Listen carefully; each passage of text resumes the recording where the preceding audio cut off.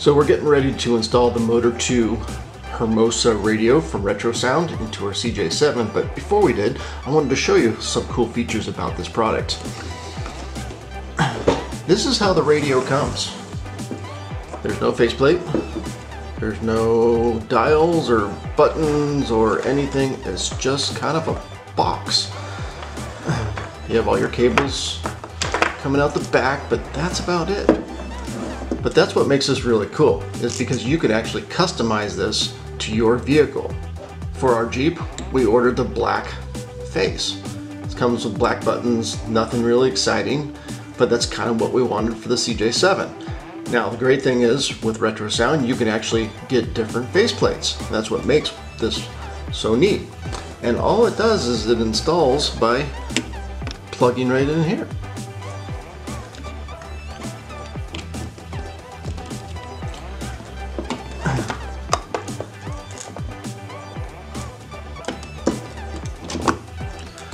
Goes all together like that. And now we have something that resembles a radio. And then all you have to do is put in a couple screws here. All right. So now our faceplate is on. It's on there tight. Good.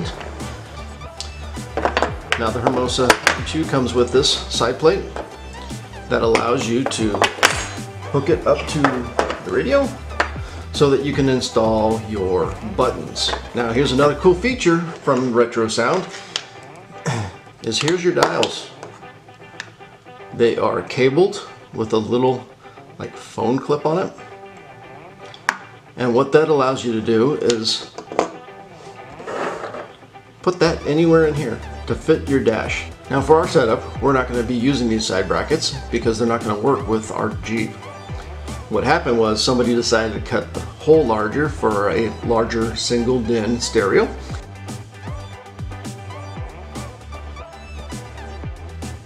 and therefore we can't put an old style radio in there. Here's the really cool part though. Retrosound makes a universal DIN repair kit. Let me show you what it's got. So basically we have two new brackets and a single DIN insert. And on top of that, we have this cool bezel that's going to go on. Retrosound has several different faceplates that you can get. So you can match it to what your vehicle is and what you like. I went ahead and installed these two brackets, so now they're on there. And then we have our knob, which you can see you can still move right now until I figure out the right spot where I want to get it at. And the really cool part is once you get it all figured out, all you have to do is plug this little clip in. Okay, well I went ahead and put everything together and this is what we're left with. So what we started off with was just a simple box and the really cool thing about the Retrosound is that you can configure it to your vehicle. Now another really cool thing about Retrosound is you can actually uh, pick your buttons that you want for this. So they have a selection of three or four different kind that you can select for your vehicle. So we went with, we got the little metal uh, flippers, and then we got the cool little radio buttons that kind of are similar to the old Jeep ones. Now we got a truly vintage looking setup that is now ready for your single DIN repair. All right, let's put this in a Jeep.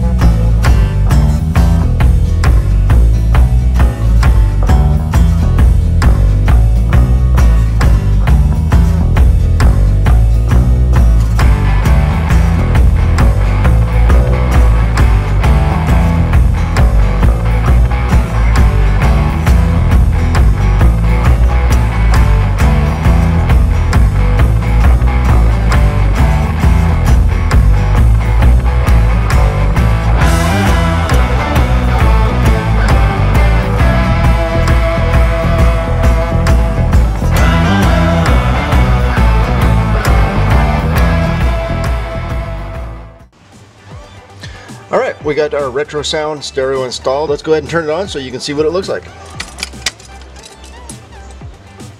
Takes a minute for it to boot up.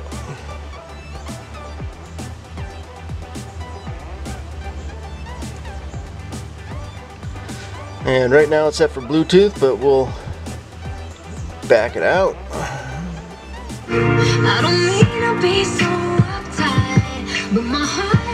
So radio works well. We do have a USB plugged in right now, so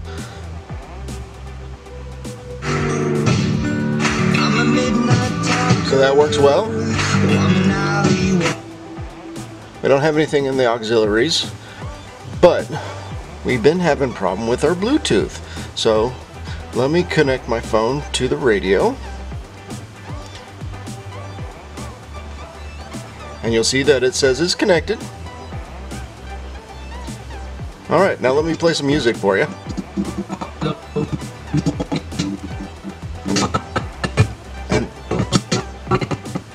And that's what we get.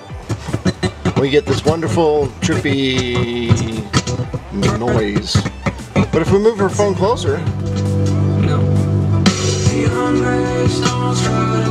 kind of works better.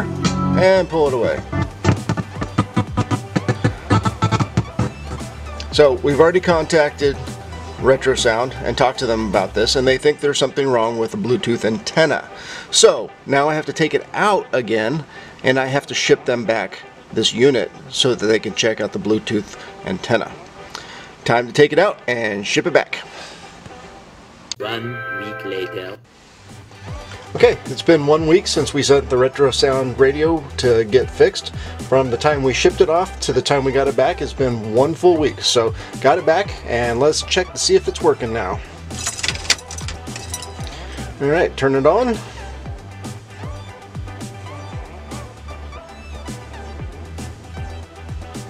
And seems to boot up a little faster.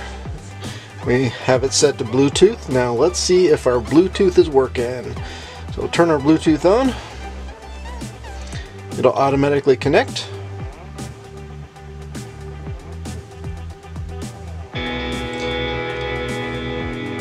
Midnight at the school on the bleachers. Oh, there's gonna be a rumble. The lions All right, looks like it's working. We can move our phone anywhere we want, and it seems to be working great. Baby she prays.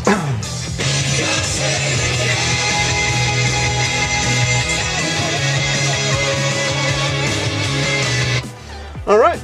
Well, looks like we got a good classic radio on the CJ now. Now it's time to have some fun listening to it and cruising around. Thanks for watching.